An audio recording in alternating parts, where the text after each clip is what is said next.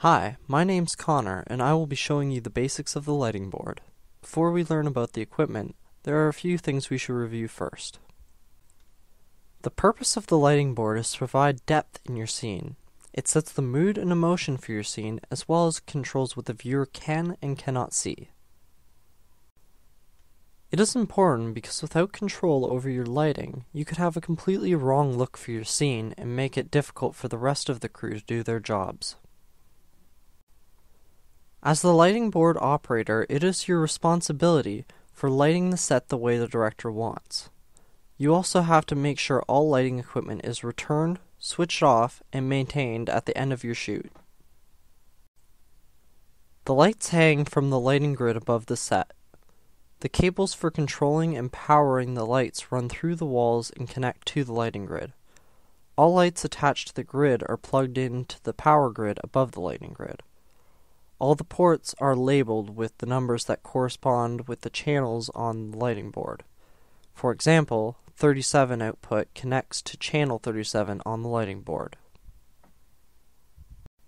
This is Jacob. He will be helping to show us the lighting board today. On the control surface, the faders are for more delicate changes in lights.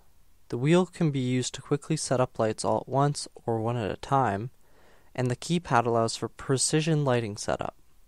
The monitor displays all the lighting data, what channels are on and off, and what channels are currently selected, and the right monitor is touchscreen, allowing for easy interface with the lighting controls.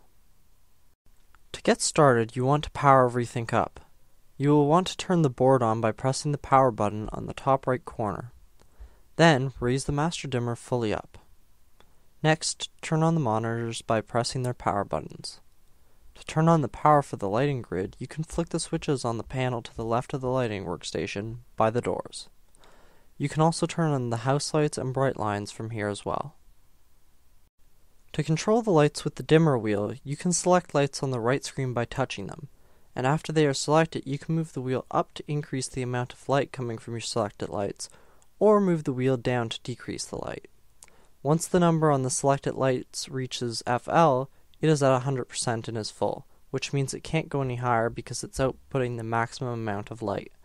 When the number is at zero, it's not putting out any light. Another useful way to adjust lights is the command codes. To use these, you will use the keypad on the board. Every light on the grid is numbered and can be set to a certain amount of light between the values of 0 and 100.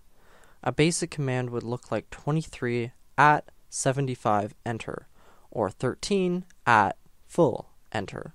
Just make sure you enter the light number, then the at key, then your light value number, and then enter key. The delete key can clear parts of the command line if you enter something wrong. With three-point lighting, you want to start with the key light to light the subject on the side. Next is the fill light, which is used to light from the other side of the key.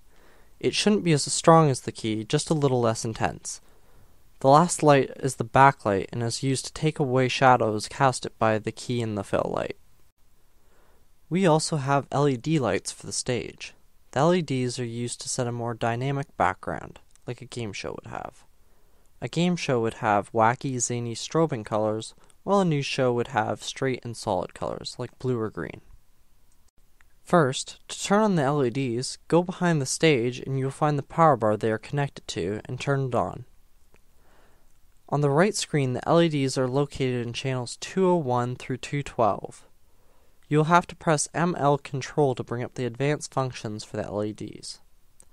You can use that monitor to access the colors for the LEDs and the way of illuminating themselves. There are many different settings for the LEDs and even presets at the bottom of the screen. The bright lines are important for lighting the green screen on our set. They are very bright and shouldn't be stared directly into for long. The bright lines are more heavy duty than other studio lights and they require warm up time. Make sure their switches are turned on by the power switches for the lighting grid and turn up channels 1 and 2 on the board to turn them on. Some things to remember are all lights are labeled on the lighting grid. Look up and look for the number tag on the light if you're having troubles. If you use the dimmer faders, make sure you use the channel selector knob to select which layer of lights you are on. Do not forget to turn everything off the way you turned it on when leaving the studio for the day. The lighting board is a very useful and important piece of equipment. Be sure to practice on it to get a better feel of the controls and the lights. Thank you for watching.